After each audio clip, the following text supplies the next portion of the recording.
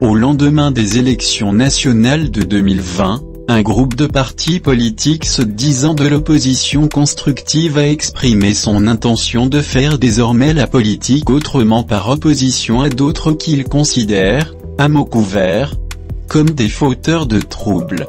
Parmi eux, il y en a qui ont affirmé qu'ils ne sont pas des opposants qui jettent des cailloux ou brûlent des pneus.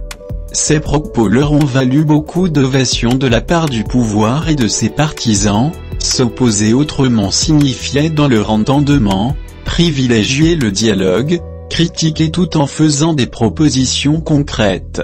Ils ont qualifié cette approche d'opposition constructive. Ce sont les mêmes partis politiques qui fustigent les manifestations politiques. Ils mettent dos à dos le pouvoir et l'opposition dite radicale et certains d'entre eux soutiennent même parfois que ceux qui appellent à manifester sont les seuls responsables des morts, blessés et casses liés aux manifestations.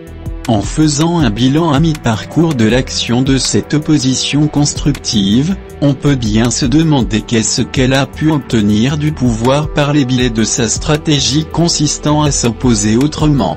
En tout cas, la dérive hégémonique du pouvoir dans l'espace politique reste toujours marquée, les libertés individuelles sont de plus en plus bafouées.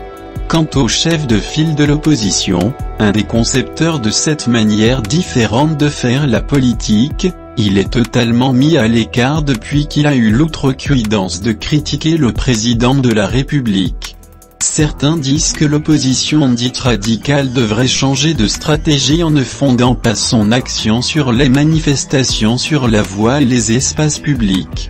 Mais avec le stracisme dont le chef de file de l'opposition est l'objet, on constate que même en usant d'une stratégie apaisée ou en utilisant une méthode douce à la limite de la langue de bois, l'opposition dialoguiste n'obtient rien puisque le pouvoir ne lâche rien, ne cède rien.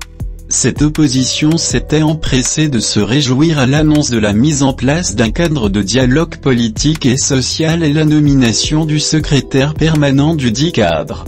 Mais des semaines après, on peut se demander si elle est aussi enthousiaste qu'elle l'était au départ.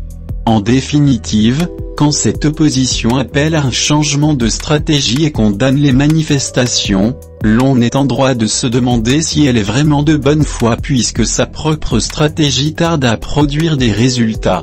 Encourage-t-elle l'immobilisme?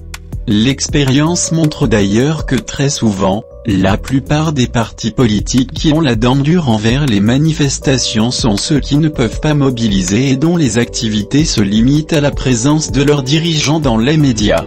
Sinon, aucun parti politique ne peut se priver de cette arme citoyenne que le constituant met à sa disposition.